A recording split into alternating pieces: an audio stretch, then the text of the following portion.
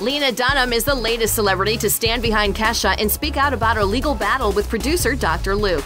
The girl star wrote in an open letter addressing the issue, saying that when she heard the outcome of Kesha's court case, which forces her to fulfill her contract with the producer she claimed abused her, she felt sick. And even though Lena admits the allegations of sexual assault and emotional abuse cannot be proven, she thinks Kesha's words speak for themselves.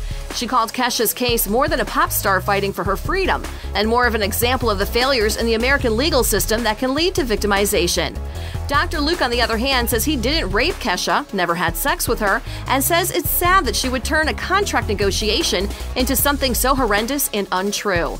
The New York Supreme Court found that the singer is already free to record and release music without working with Dr. Luke as a producer, and any claim that she isn't free is a myth.